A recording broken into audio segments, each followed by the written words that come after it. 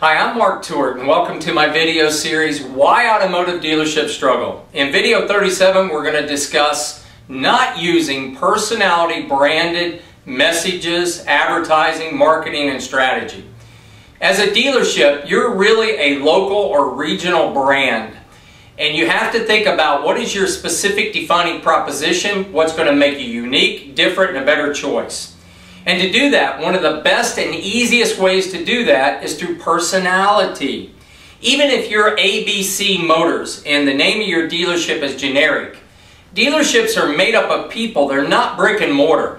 If all the brick and mortar fell down today and you are operating out of a trailer, you could still do a tremendous amount of business if you had a list of customers and a bunch of personalities that were working with those customers. Well, I want you to brand your business very quickly and build up a personal connection with your audience through personality.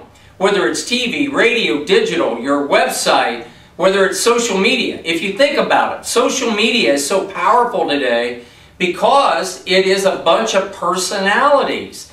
And the more you explore those personalities, the better off you are.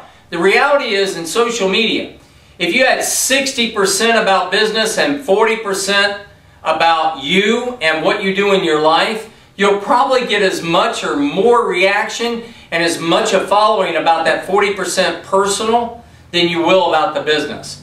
Remember, business is made up of people. Explore the personalities of the leader of that dealership and the other people working in that dealership to create human interaction and connections.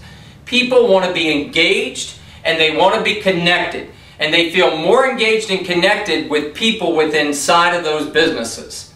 I'm Mark Tewart. Make sure you tune into the rest of my video series, Why Automotive Dealerships Struggle.